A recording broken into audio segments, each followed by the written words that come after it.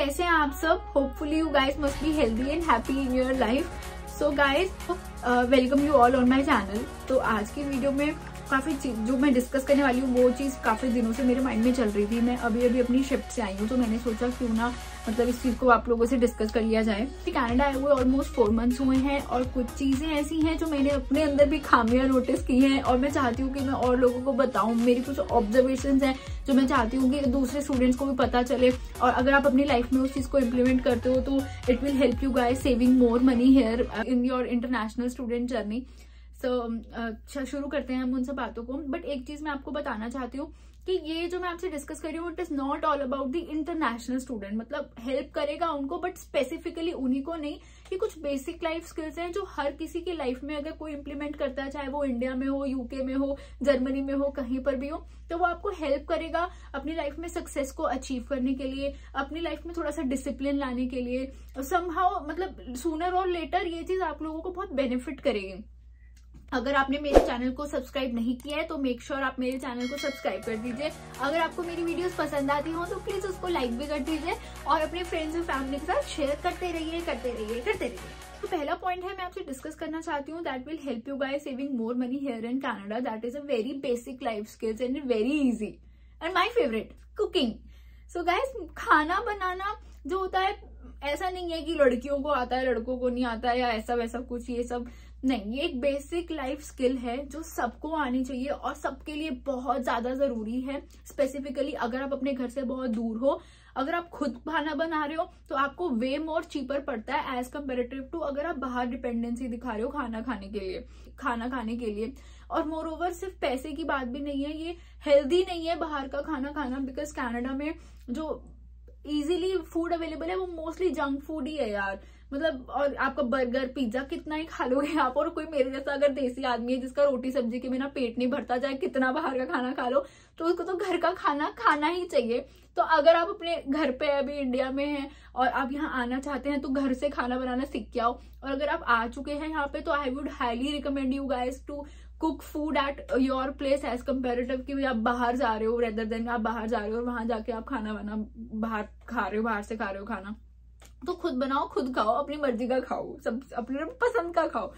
तो ये चीज़ आपको बहुत हेल्प करेगी और ये बहुत पैसे बचाएगी आपके, मैं आपको बता रही हूँ। आप कुछ टाइम बाद ऑब्ज़र्व करोगे, इसको एटलीस्ट ट्राई करके देखो for a month and then you will yourself observe the change तो कुकिंग के बाद जो सेकेंड चीज़ है, जो मैं आपको रिकमेंड करती हूँ गाइस वो होगी time management time management as an कि आपको पता है कौन चीज़ आपको कब करनी है और ये भी आपका कहीं ना कहीं पैसा बहुत बचाता है। एज एन आप कितने बजे सो रहे हो? आपकी सुबह की शिफ्ट है। ऐसा तो नहीं है कि आप लेट सो रहे हो फिर सुबह देर तक उठ रहे हो। क्योंकि मेरे साथ तो एक बार एक, एक चीज़ है जो मैं आपको शेयर करना चाहती हूँ is like I am not a morning person मैं सुबह नहीं उठती जल्दी और मेरे को इस चक्कर में मैंने बहुत बार अपनी बसेस स्किप की है और मेरे को कैब लेके जाना पड़ रहा है। और मैंने ये ऑब्ज़र्व किया है कि एक बार तो मैंने दो तीन बार रिपीटेडली ये गलती कर दी है लेजीनेस के चक्कर में। तो वो मेरा लगभग एक टाइम की ग्रोसरी का खर्चा था जो मैं कैब वाले को फ्री में दे आई। मतलब आप समझ रहे हो? तो ये चीज़ क्या हो रही है? क्योंकि मैं लेट नाइट तक जाग रही हूँ, सुबह मुझसे उठा नहीं जा रहा, मेरी शिफ्ट है और देन आलस के मारे मैं नहीं अपने मतलब बस वगैरह मिस करती। मोर ओवर सिर्फ़ ट्रांसपोर्टेशन की बात नहीं है. It is all about like completing your assignments on time और कॉलेज में जो आपको पेनल्टीज लगती हैं लाइब्रेरी में अगर कोई बुक आप रिटर्न नहीं कर रहे हो, आपका टाइम मैनेज नहीं हो पा रहा है, भूल गए हो या फिर ऐसा वैसा कुछ तो वो भी पेनल्टीज को अवॉइड करता है। और मोर ओवर आपका डिसिप्लिन मेंटेन करके रखता है आपकी पूरी लाइफ में कि भाई, आपको पता है कि सुबह इतने बजे उठ के आप अपने रूटीन के काम ये ये कर रहे हो और आपको पता है कि इस डेट को ये होना है, आपके माइंड में उसके अकॉर्डिंग आप अपनी चीज़ें मैनेज करके चल रहे हो। तो ये टाइम मैनेजमेंट बहुत इंपॉर्टेंट है स्पेशली कि इंटरनेशनल स्टूडेंट की जर्नी में जिसको पता है कि उसे इतने दिन को ये असाइनमेंट है अच्छा इतने दिन मेरी शिफ्ट भी है तो मैं अपनी कब कब अपनी असाइनमेंट का कितना कितना पार्ट पूरा कर रहा हूँ, फिर कंप्लीट कर रहा हूँ। फिर ऐसा नहीं है कि आपके ग्रेड्स कम आ रहे हैं, फिर आप उसके लिए मतलब फाइन पे कर रहे हो कि हाँ अपने, आपके ग्रेड्स अच्छे नहीं आए या फेल हो गए एक्स वाई कुछ भी। तो टाइम मैनेजमेंट करना आपको डिसिप्लिन भी सिखाता है और आपके बहुत सारे पैसे भी बचाता है। तीसरी चीज़ मैं आप लोगों से डिस्कस करने वाली हूँ, वो मेरे लिए इन सभी पॉइंट्स में से सबसे इंपॉर्टेंट है।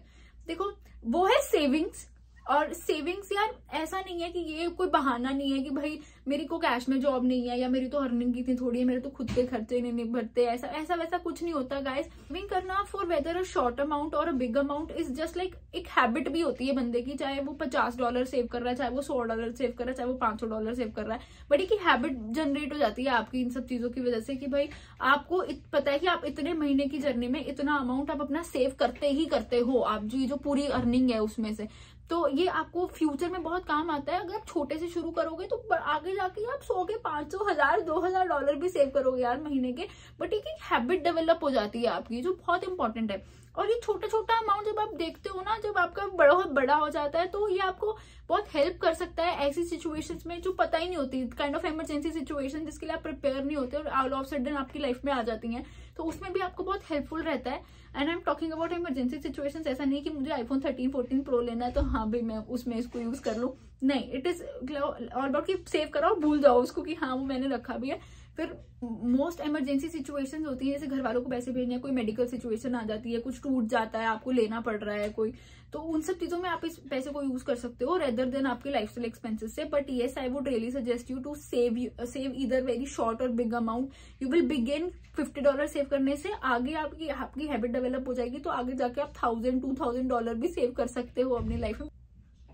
जो नेक्स्ट चीज़ जो मैं आपको रिकमेंड करने वाली हूँ, वो ये है जो मैंने खुद ने भी अगेन एक्सपीरियंस किया ऑब्ज़र्व किया है। Guys it's just like before going to grocery I would really recommend you to make a list कि आपको किन किन चीज़ों की ज़रूरत है। ये नहीं नीड की वांट की नहीं नीड की। मतलब हम लोग जब जाते हैं और हमें दिमाग में नहीं होता और हम सिंपल एक ट्रॉली लेके वॉलमार्ट में घूम रहे होते हैं तो हम कुछ भी डाल लेते हैं। जो हमें पसंद आता है ना, हम कुछ भी डाल लेते हैं। और ये अक्सर आप लोगों के साथ भी हुआ होगा कि आप लेने तो गए थे दो चीज़ें but you end up buying three four things और वो इवेंचुअली हो जाता है, आपको खुद भी नहीं पता चलता जो आप पसंद आते हो, आप डाल लेते हो। इस चीज़ को अवॉइड करने के लिए आई वुड रिकमेंड यू कि आप एक लिस्ट बना लो कि मुझे इन जिन चीज़ों की ज़रूरत है तो आपका सीधा फोकस यही है। आपके पास कोई डिस्ट्रैक्शन नहीं है, आपको पता है मुझे घी लेना है तो मैंने घी उठा लिया। आपको पता है मुझे गोभी लेनी है, मैंने गोभी उठा ली। आपको पता है मुझे प्याज लेना है, मैंने प्याज उठा लिया।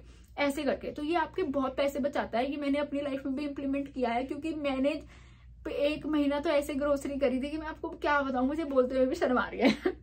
मैं वहाँ जाती थी, कुछ भी पसंद आता तो उठा लेती थी। हाँ ये भी मैं खा लूँगी हाँ वो भी मैं खा लूँगी। मेरा खाना वेस्ट जाता था, वो अलग है। ऊपर से मैं पैसे खराब करती थी, वो अलग है।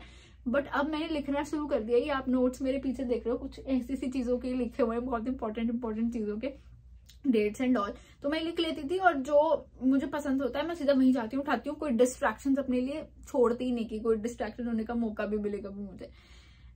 एंड देन uh, जो लास्ट चीज़ है जो मैं आपसे डिस्कस करूँगी वो एक सबकी वैसे अपनी पर्सनल चॉइस है but still I would highly recommend you guys to prefer a sharing room rather than a private room why so because एक तो आपका वो रेंटल कॉस्ट को बहुत रिड्यूस कर देता है। दूसरी चीज़ यार आप बहुत एग्जॉस्ट हो जाते हो इस लाइफस्टाइल से कि college assignments job college assignment job ये बहुत एग्जॉस्टिंग रह जाता है एक पॉइंट ऑफ़ टाइम के बाद। तो आपको एक कंपेनियनशिप बहुत ज़रूरी होता है। देन अगेन इट डिपेंड्स कि आपके अपने रूममेट के साथ बन रही है या नहीं बन रही। बट स्टिल अगर आपको कोई अच्छा दोस्त मिल जाता है, क्योंकि अच्छे बुरे तो हर जगह मिलते हैं बट अगर आपको कोई अच्छा कंपेनियन मिल जाता है तो आप उसे बात कर लेते हो, बाहर घूम लेते हो मतलब कहीं एंजॉय कर लेते हो तो थोड़ा रिलीविंग सा हो जाता है। तो इसलिए प्लस आपका रेंटल कॉस्ट भी रिड्यूस हो रहा है तो I would suggest you sharing room recommend करें rather than a private room और this will help you saving a huge money then again at the end I would say कि सबकी अपनी पर्सनल चॉइस है, कुछ लोग कंफर्टेबल नहीं होते दैट इज़ ये अनदर थिंग बट मेरी तरफ़ से एक छोटा सा सजेशन ये रहेगा। सो so गाइज़ आज की वीडियो में इतना ही था। तो अगर आपको वीडियो पसंद आई हो तो प्लीज़ मेरे चैनल को सब्सक्राइब कर दीजिए लाइक कर दीजिए, वीडियो को शेयर कीजिए फैमिली और फ्रेंड्स के साथ। और प्लीज़ मुझे कमेंट सेक्शन में ज़रूर बताइए कि अगर आपने इन चीज़ों को अपनी लाइफ में इम्प्लीमेंट किया है तो कहीं ना कहीं आपको हेल्प करी है, नहीं करी। मैं भी कोशिश कर रही हूँ, आप भी कोशिश कीजिए। और ये बहुत इंपॉर्टेंट है और बहुत चीज़ें हैं यार it's never too late to make any change in your life और positive change but yes stay tune stay healthy stay happy stay positive see ya soon bye